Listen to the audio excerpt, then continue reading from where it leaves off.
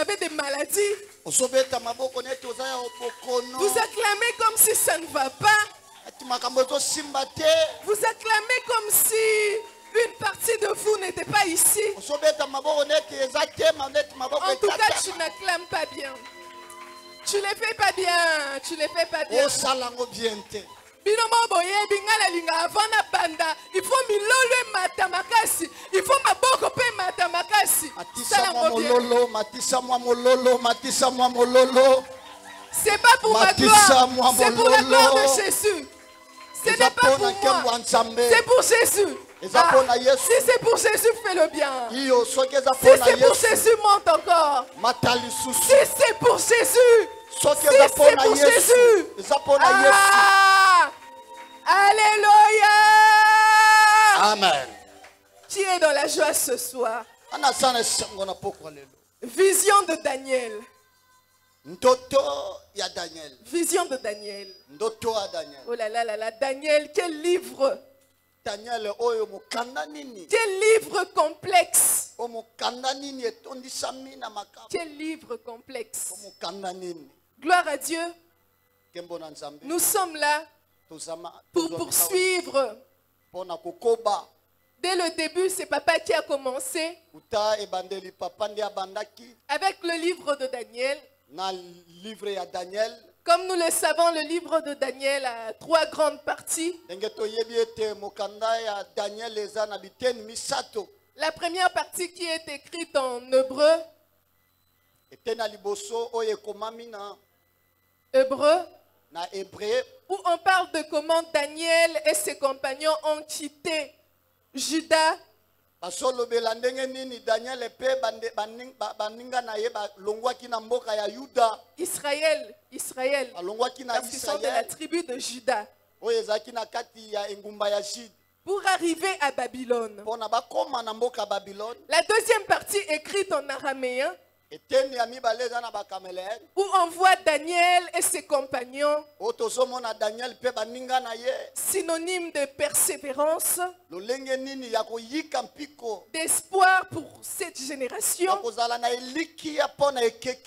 Et de patience. Qui se sont battus contre la corruption. Là, nous voyons du chapitre 2 au chapitre 6. Et pour la troisième grande partie, du chapitre 7 na chapitre 7 au chapitre 12, na chapitre 12 qui revient en hébreu, où on parle des visions de Daniel. Vision de Daniel. ndoto ya daniel. Nous savons que dans la Bible, il y a eu beaucoup de personnes qui ont eu des visions. bandoto Il y en a aussi qui ont eu des songes. Et c'est quoi la différence entre une vision emoneneli et un songe? La vision, emoniseli c'est les messages que nous avons lorsque nous sommes éveillés. Lorsque nous sommes éveillés, dans notre esprit. C'est ça une vision. Et à part Daniel dans la Bible, il y a eu Ézé- Ézéchiel. Qui a eu des visions également. Et c'est quoi un songe? Les songes, c'est c'est comme des visions. Sauf que là, c'est lorsque nous sommes en train de dormir. Où nous recevons un message venant de Dieu. Il y en a, c'est des messages. Il y en a aussi, c'est notre esprit qui nous joue des tours. Qui nous joue des tours. ekabolaka Pendant que nous sommes en train de dormir. Et là, nous voyons Joseph,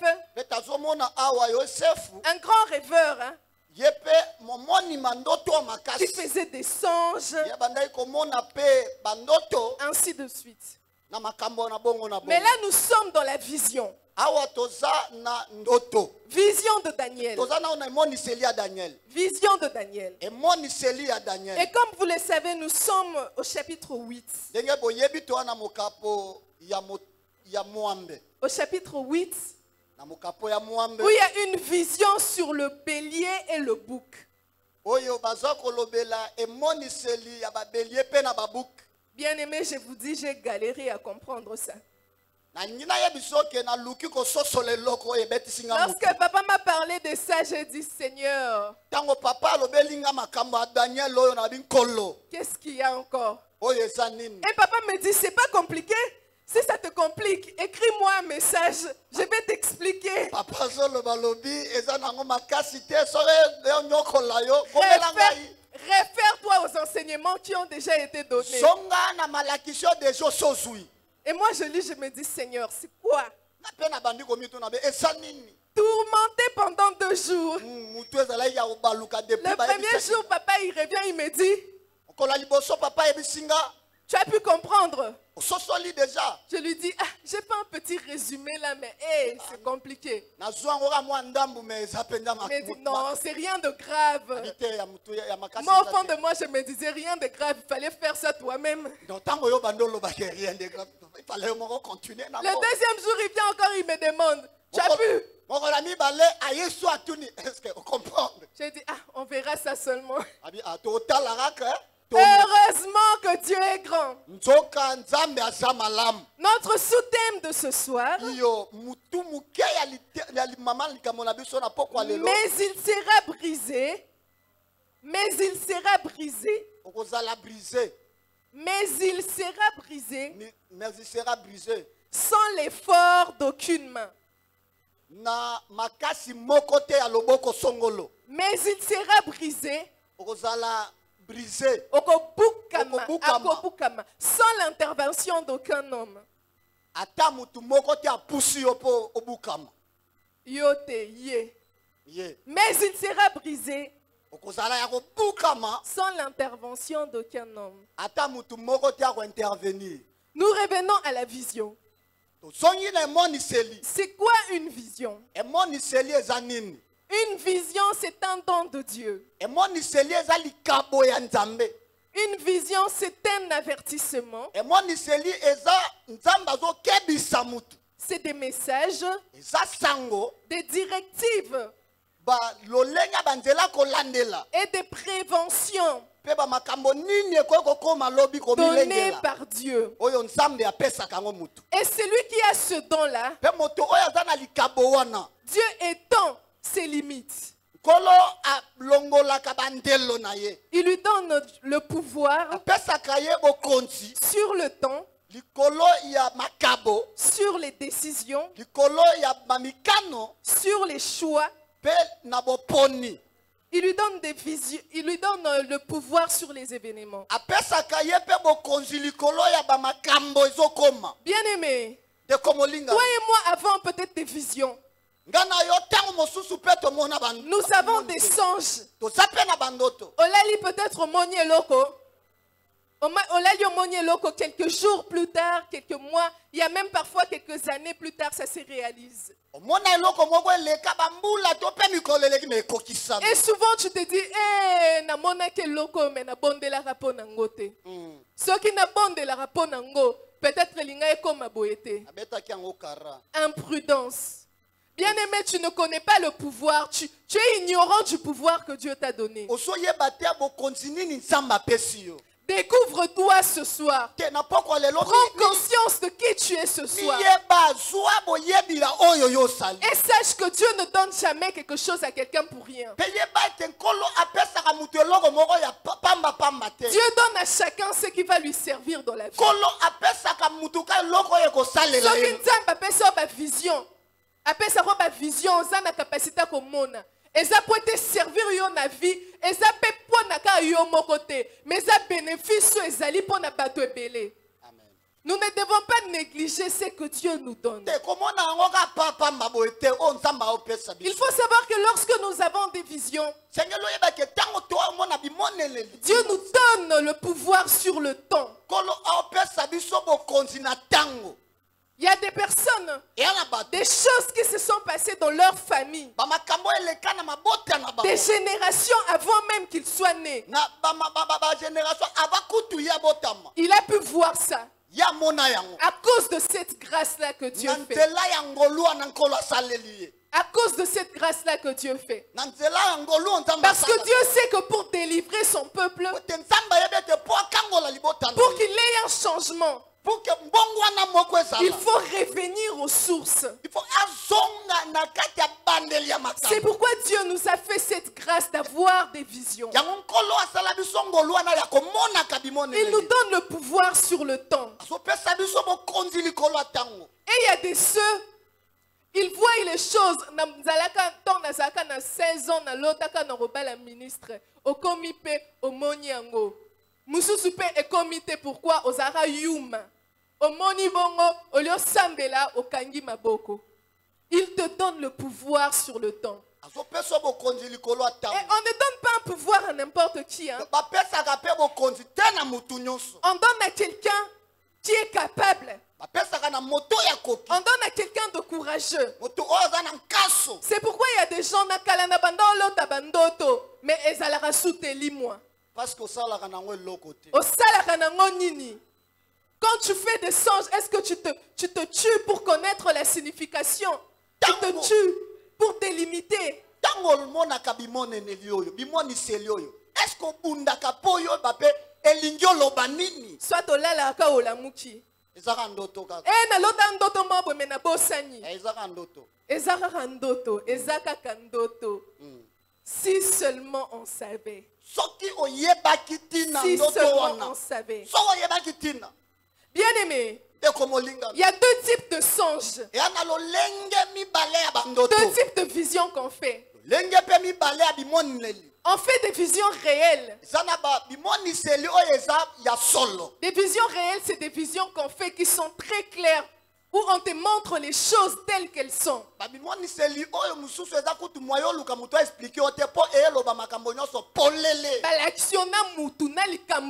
ezala. C'est ça une vision réelle. C'est les plus faciles. Ça, c'est pour les esprits faibles. Parfois aussi, tu as une vision réelle, mais tu sais pas, tu ne sais pas comprendre sobetango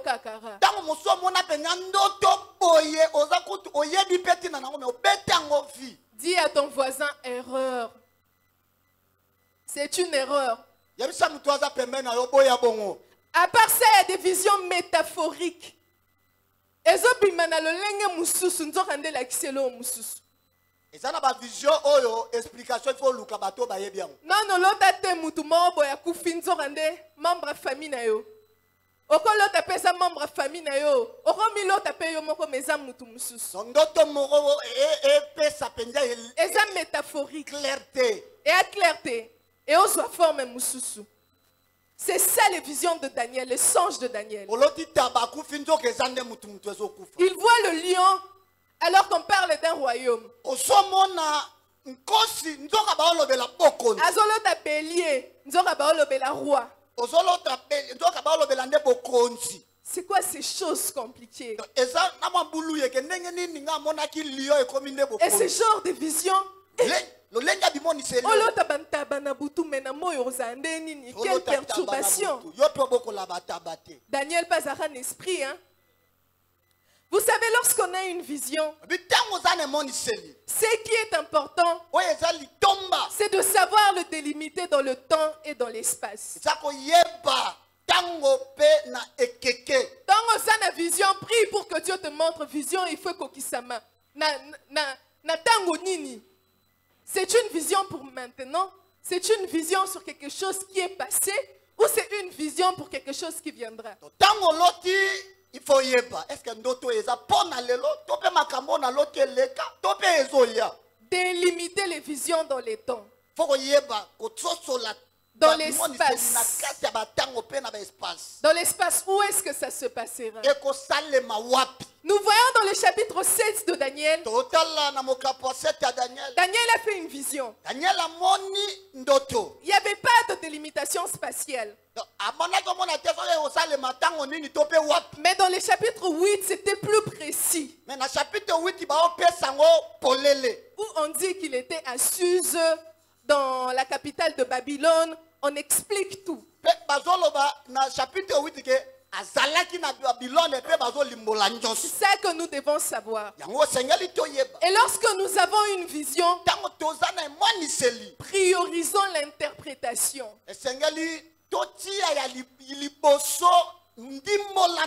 Papa l'a déjà dit, il y a la robe à vision boété. papa si alobaki Yingulu yingulu, ezanga interprétation. eza te omonte eloko oyo oyebisi biso. Bamona soso na butu babeteli yo. Bamona likwanga nzala babeteli yo on doit te- interpréter la vision savoir la signification. Parce que- c'est en ayant cette interprétation que la vision est importante.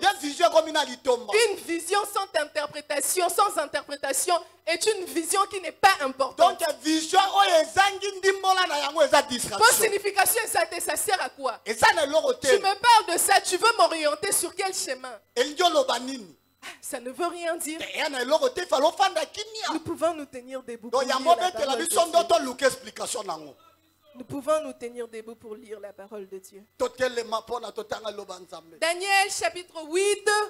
daniel chapitre 8 Nous sommes dans le livre de Daniel chapitre 8. tozaka na daniel 8 Le verset 1 tozobanda na verset 1 à 8. à 8 Nous lisons au nom de Jésus. amen La troisième année du règne du roi Belshazzar, moi, Daniel, daniel j'eus une vision, outre que celle que j'avais eue précédemment. Lorsque j'eus cette vision,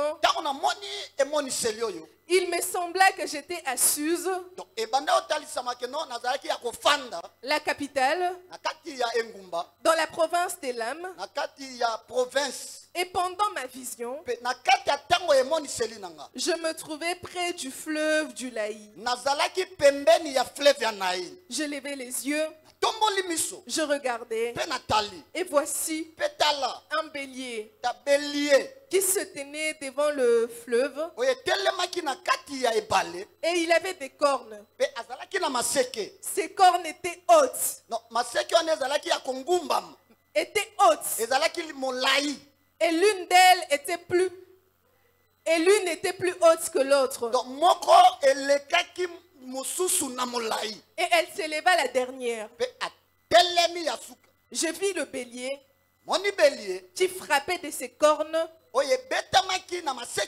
À l'Occident, au septentrion. Et au midi. Aucun animal ne pouvait lui résister. Et il n'y avait personne pour délivrer ses victimes. Il faisait ce qu'il voulait. Il devint puissant. Comme je regardais attentivement, voici un bouc venait de l'Occident et parcourait toute la terre à sa surface. Sans la toucher. Ce bouc avait une grande corne entre les yeux.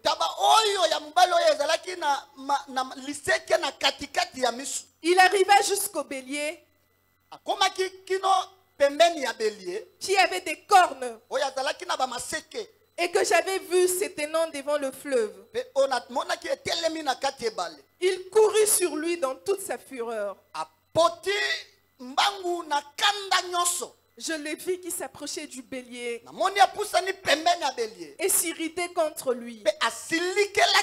Il frappa le bélier. Et lui brisa les deux cornes, sans que le bélier eût la force de lui résister.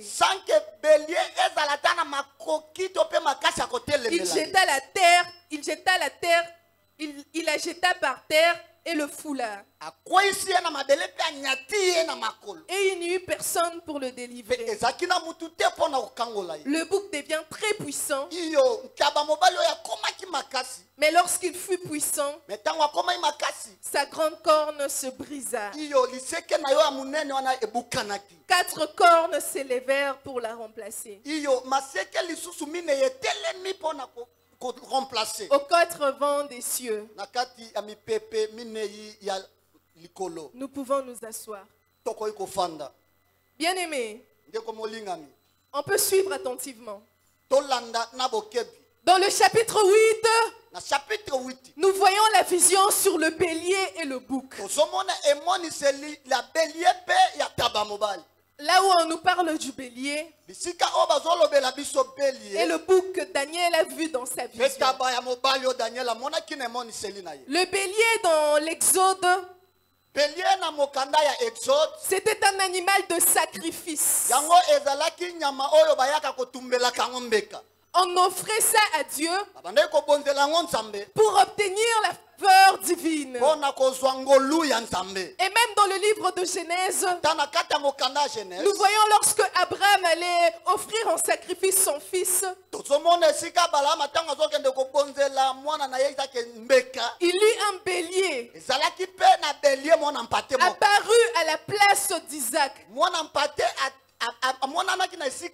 Les béliers qu'on devait offrir à sa place. Le bélier, symbole de sacrifice pour l'obtention de la faveur divine. Ici, dans les livres de Daniel, le bélier représentait un royaume. Deux royaumes. Deux royaumes. Ces deux cornes représentaient les royaumes des Perses et de Mède. Nous voyons plus loin, dans le livre où on nous parle du bouc. C'est quoi le bouc? Le bouc dans l'Ancien Testament, ancien testament. Dans les livres de Lévitique, nous voyons qu'on nous parle du bouc émissaire.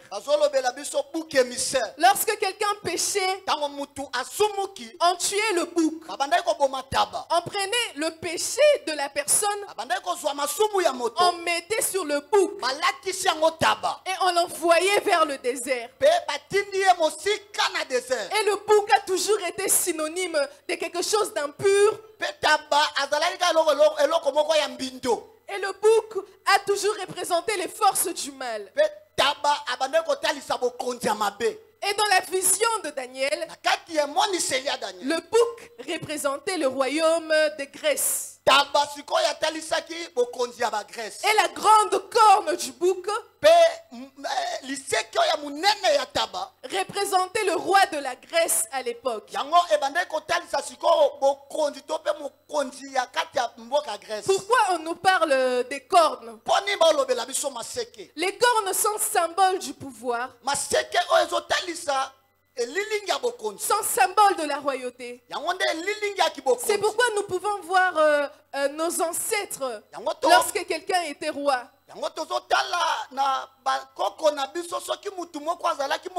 On leur donnait la corne comme signe de pouvoir. Et précédemment, lorsque nous avons parlé des visions, emoniseli on a dit que nous devons savoir délimiter la vision. Et cette vision emoniseli ne concernait pas le temps de Daniel. ya daniel Cette vision ne concernait pas le temps de Daniel. Cette vision concernait le temps de la fin. ekeke ya suka Le temps que nous sommes en train de vivre. Nous sommes pendant le temps de la fin. Et même Jean s'est inspiré du livre de Daniel pour écrire l'Apocalypse. Nous voyons dans les livres de Daniel que ce bouc qui était synonyme du mal Ya mabe avait siégé toute la terre, avait pris le pouvoir sur tout le monde. Il faisait du mal osala mabe et il n'y avait personne pour délivrer du mal qu'il faisait. mabe otango C'est ça qui se passe maintenant. De nos jours, nous voyons le mal qui est devenu, qui est devenu rien, qui est normalisé. Nous voyons la, corruption qui est devenue plus que normale.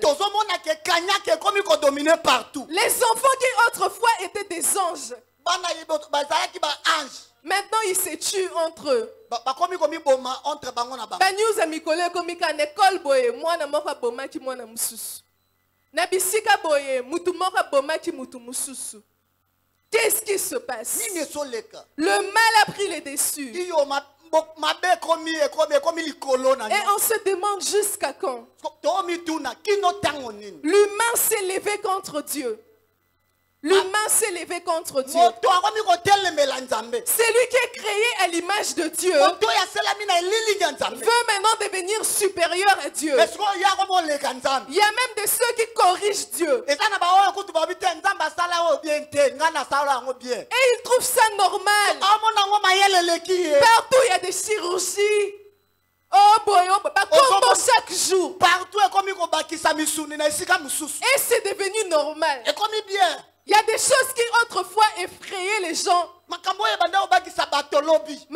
na kala so bamoni yango likambo ya monene me lelo likambo ya monene ezalaka nyonso susu te pete l'homosexualité. Yo mibali na mibali basi na pratiques pas ekomi normal et ça n'étonne plus personne mutu mpe azokamwa yango te. ekoma nango normal. Amoloba ote ebandaki kutu koto kuna. Na kala ezalaka omoni foto ya motu bakidnape oyoki somo. Me lelo ah olai tie kaka oleki.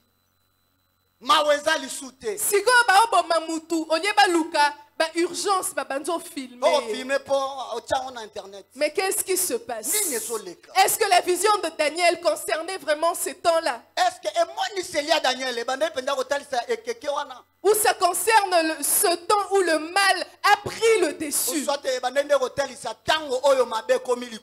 Il y a des choses qui se passent qu'on ne, ne peut même plus imaginer. Robotisation et oh je sais pas. Le, le monde évolue mais de quelle manière le monde évolue? Est-ce que nous sommes obligés d'accepter tout ça? Même les enfants ne craignent plus leurs parents. Ils ne craignent plus. Te un enfant de 16 ans en train de manquer de respect. À un papa d'autrui bapapa kutu ya- ya baninga babangaka bango lisu te amoni ye mpenza na nzela ya loko ti ebanda likolo ti na se. Tali ye boye. Mais qu'est-ce qui se passe? Definir ye nini ezoleka? La musique n'en parlons pas. La musique n'en parlons pas. Est-ce que te. à longtemps il y avait des musiques où il y avait autant de bêtises?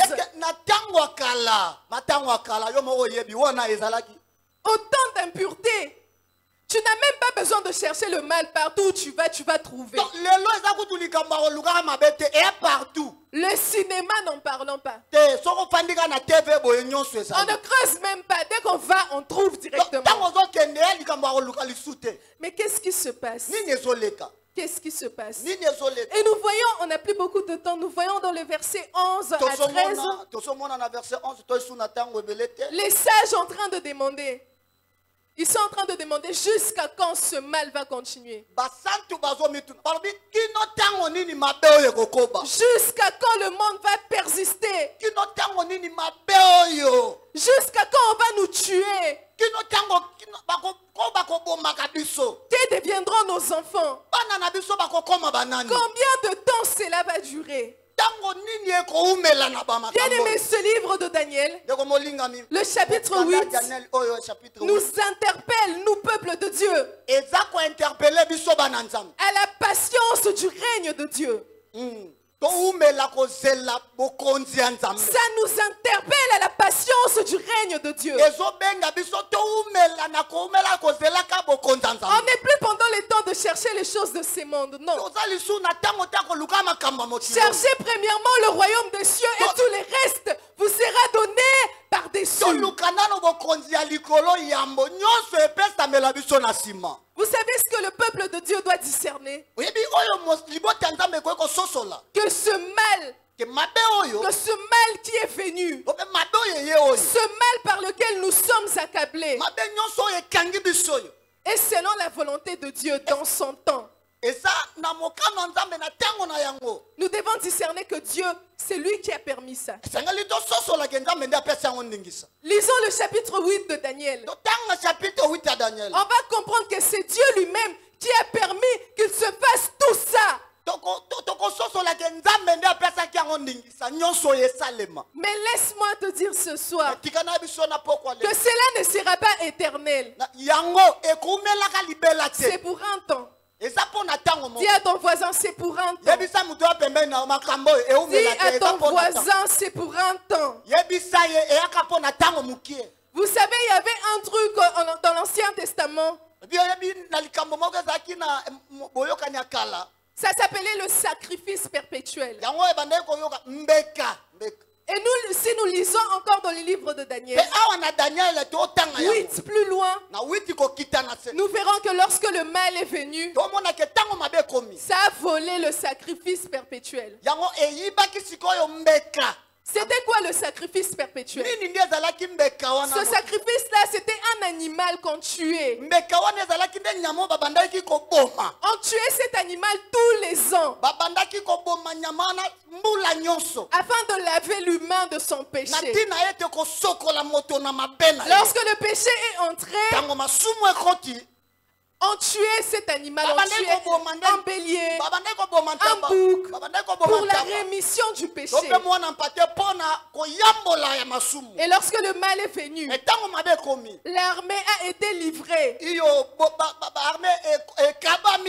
et il n'y avait plus de sacrifice perpétuel.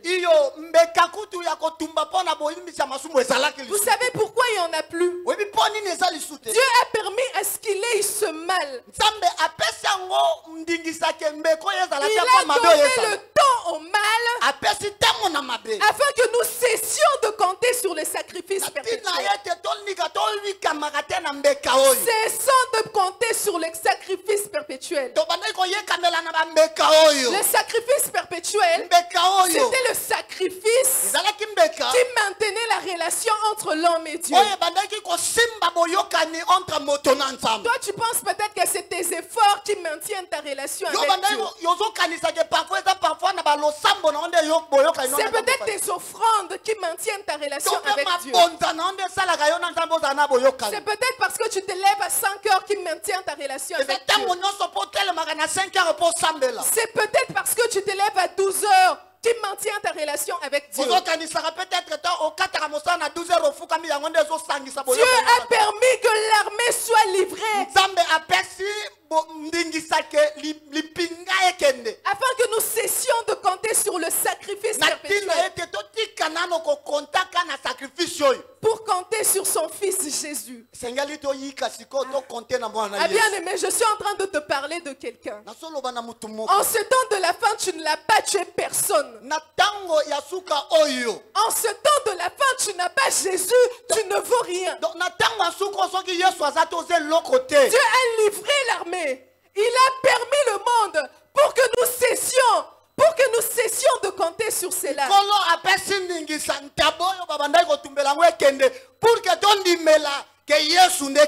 Et que nous comptons que pour Jésus. To- toyikaka epai na yesu. Bien aimé, vous savez la cause de tout ça, la cause du mal qui est entré dans le monde, c'est le péché. Le péché dévastateur. Le péché qui est normalisé. C'est à cause de ça que le monde est entré, le mal est entré dans le monde.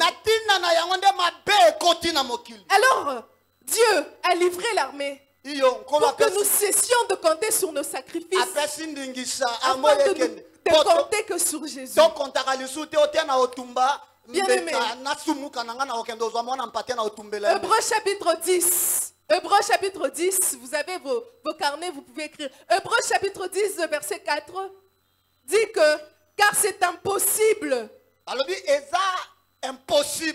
que les sangs des taureaux ke makila ya bana ya ntaba et des boucs. Ôtent le péché. elongola lisumu Bien aimé, pour que ce mal quitte, pour que, oyo pour que les choses changent, nous, devons, nous ne devons compter que pour- sur Jésus. Les sacrifices perpétuels ne peuvent pas nous aider à surmonter. Si nous comptons sur les sacrifices, nous sommes encore à l'époque de la loi. Mais maintenant que la grâce est venue, pendant ce temps de la fin, Dieu nous propose Jésus. Mais recevoir Jésus, ne comptez que sur lui. Et c'est que grâce à lui, que tout cela, Va prendre kosila bien aimé, vous pensez que j'ai l'impression qu'on ne se comprend pas. J'ai l'impression qu'on ne se comprend pas. Daniel chapitre 8, verset 25. daniel 8 verset 27 Ça dit ceci. Ce royaume-là, ces règnes dévastateurs sera brisé sans l'effort d'aucune main, sans l'intervention humaine. Bien aimé, vous pensez peut-être que si on change des, des présidents de la République, les choses vont changer. Daniel nous dit sans l'effort d'aucune main.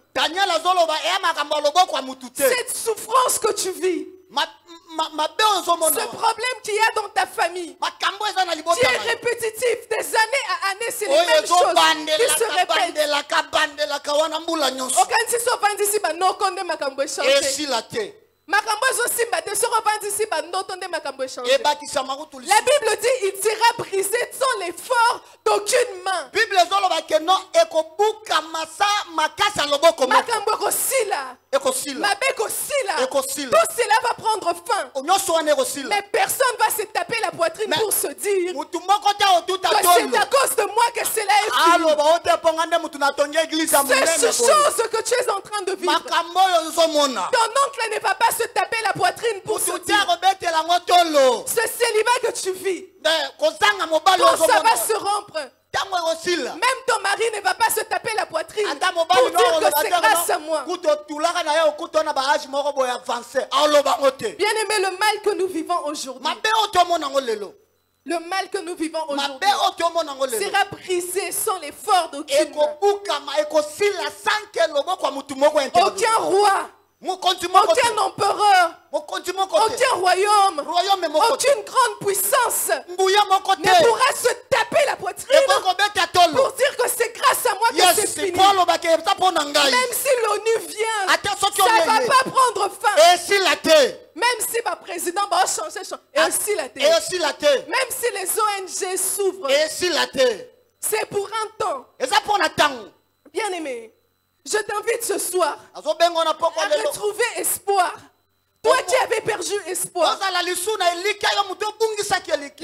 te dire que c'est pour un temps. Et quand ozomona cela sera brisé, quand cela sera brisé, quand les malheurs de ta vie prendront fin, personne ne se tapera la poitrine. Personne ne se glorifiera. Bien aimé, parfois, ozoluka musala. okepa bandoko nyonso osilisi osilisi barelation nyonso me mutu te na barelation moko opesa yo yesu ozela ntango na yo mpo ntango opesa yo likabo wana ozala redevable te barapelaka yo te boyebi bi bakado mosusu bapesaka bato a eza neti badete morale lokola ye asalelanga boye nga mpe fo nasalela ekomi boye. nyongo. Dieu t'épargne des yo mosika ya dieu épargne quelqu'un ce soir des dettes morales kolo azobenga no mosika ya ces choses qui ne prennent pas fin. Attends le temps de Dieu. Ya son temps il va se lever. En son temps les choses changeront en son temps son royaume sera brisé. En son temps les choses qui ne vont pas vont marcher. Ah, en son temps le monde sera étonné de toi. comment ekokamwa jugement se fera? Ceux qui sont en train, ceux qui sont en train de se réjouir maintenant dans le mal, dans le péché, lisumu demain ils vont pleurer. Ils seront brisés. Ils seront brisés. Les choses vont se renverser. Parce que ça sera le moment de Dieu. Parce que ça sera le temps de Dieu. En ce temps de la fin, bien-aimé, ne va pas te suicider. En ce temps de la fin, ne dis pas que tu en as marre. N'aie pas marre de la prière. Même quand c'est compliqué, prie. Même quand c'est compliqué, prie. Parce que lorsque le roi de rois va se lever, et que tout ça sera aboli. Et que tout ça sera aboli. Nous ne pourrons qu'être heureux. Nous ne pourrons que sauter de joie pour dire que notre Rédempteur S'est levé le dernier. Que Dieu bénisse sa parole. Amen.